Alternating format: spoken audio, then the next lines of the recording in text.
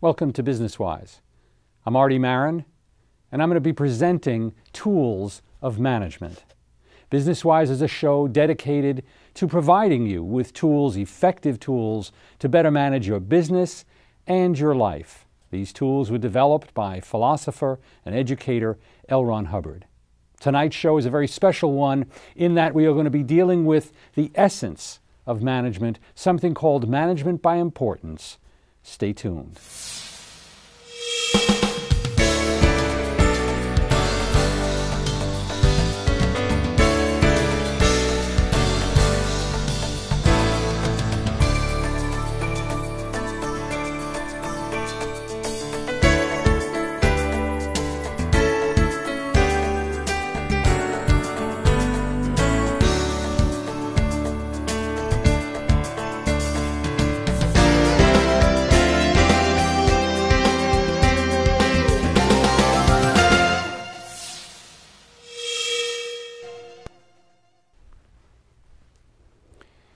There are tools of management.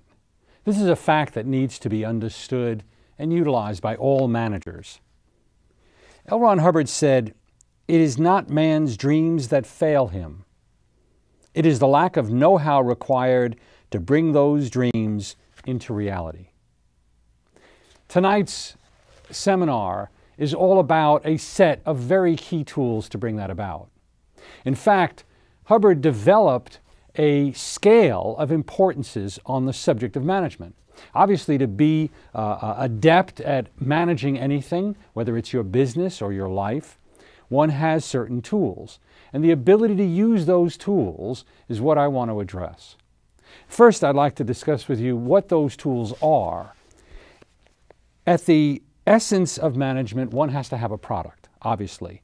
What is valuable? What is that item or service that you are providing, that you're putting into the hands of the consumer for which they're giving you what you want.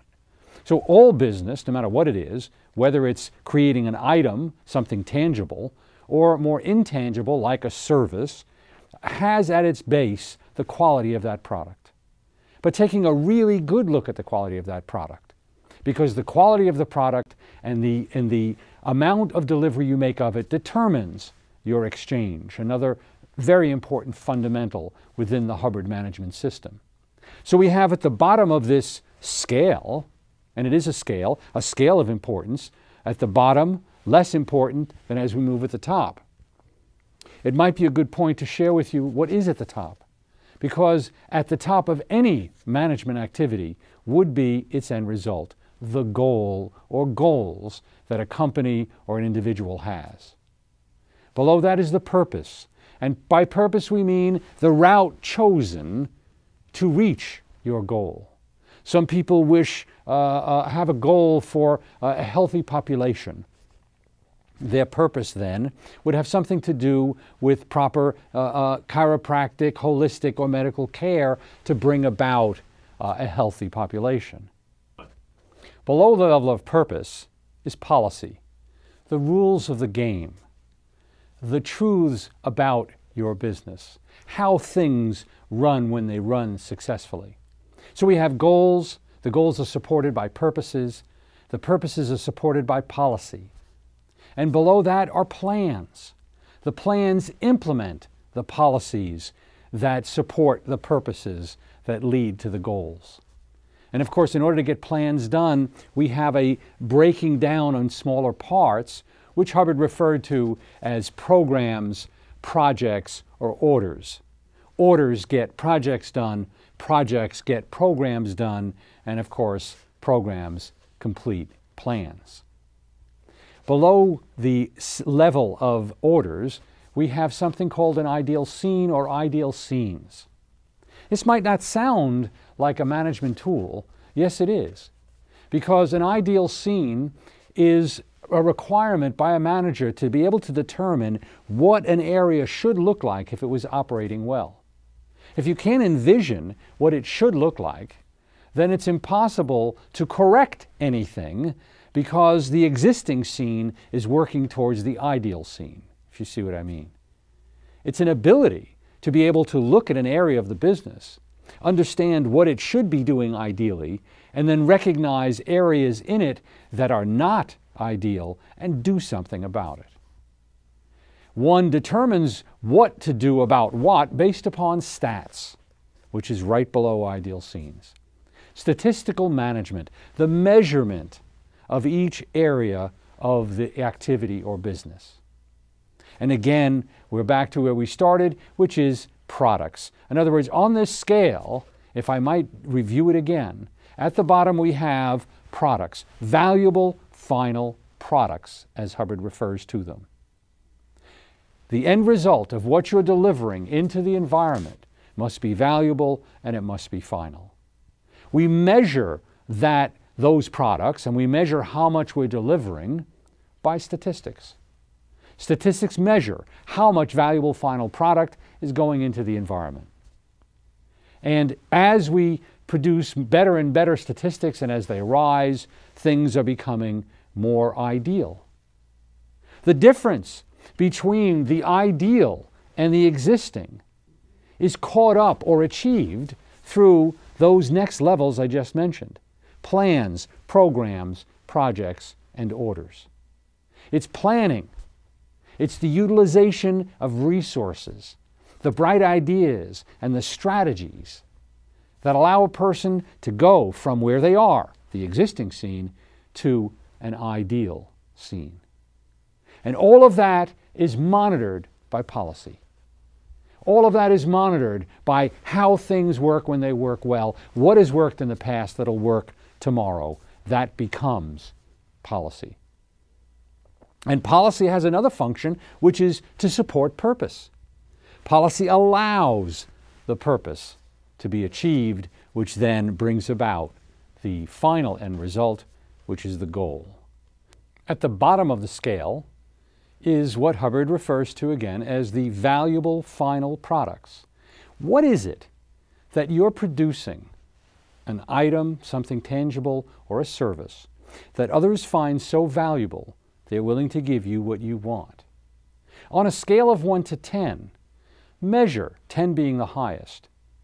Your company, your activity, your product or service against that criteria. Are you delivering a product that is valuable and final? Because that is going to determine your exchange to a very large extent. That is going to determine what you get back from your output. Up from that are statistics the measurement of how much valuable final product you are putting out into the environment. Are you tracking the numbers? Do you watch them carefully? Do you evaluate them on a regular basis? Tonight, we're going to be concentrating on these two factors production and exchange. Production, the valuable final products that you produce, and how you measure your statistics.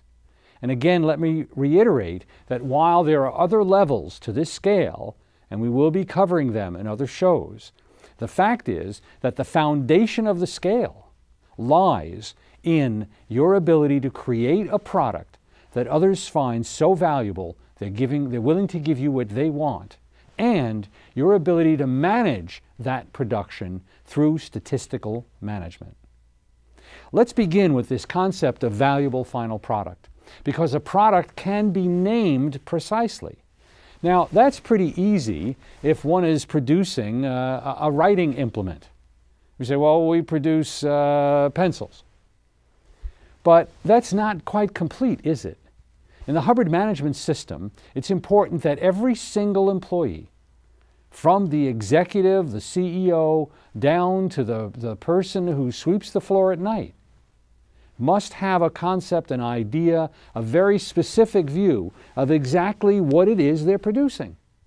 Now, that would make sense. While we say that I produce a pencil, in fact, a more specific way of looking at it is I produce a, a graphite item that when one writes, uh, you can see the writing. It's, it's a lot more specific. Let's take another example. What is the product, for instance, of a nurse. Well, you could say, well, the product of a nurse is uh, a happy patient. No, nurses don't produce happy patients. Um, the nurse's functions or the nurse's products, so to speak, which is not a function. In other words, a product is the result of a function. So while the nurse may try to keep a patient comfortable, the fact is that her product is a comfortable patient. Let me take it a little further because the utilization of this tool of management and valuable final products and the naming of them is indeed a tool. This tool is incredibly valuable when used to its fullest. Let's take an example. We have a company that um, is a publishing company. They publish books, they ship books to people who've bought them. And let's assume that your shipping department, we're getting a lot of complaints about the shipping. So what do we do? We apply this tool. We go to the shipping department and we say, shipping manager, shipping the head of the department, what is the product of your department? And the shipping manager thinks about it and he says, Well, the end result, the end result of all my doing, because a product is the result of doing, not the doing itself. He says, The end result of all my doing is shipped books. That's the product I produce. Shipped books. Now, of course, he doesn't produce the books themselves, that's a company result. But he says, I produce shipped books. Now, with that, one then immediately knows why there's a problem. Because shipped books is certainly not valuable enough, and it's probably and surely not final. What do we mean? Well, how about shipped books to the right address? How about timely shipped books with the right invoice? How about timely shipped books to the right address with the right books in the package? How about securely packaged? How about securely packaged and aesthetically looking packaging? Do you see? There's more to it in terms of defining, or, or as Hubbard puts it, naming the product precisely. So now the shipping clerk or the shipping manager has a much broader view. He's saying, well, wait a minute. In other words, what I produce on a regular, constant basis are timely shipped books to the correct address, aesthetically packaged and secure, that arrive at their destination with the right order. That's what I'm paid for, nothing less. Wow, okay. Well, in order to do that, I'm going to need, see, I've not been doing that.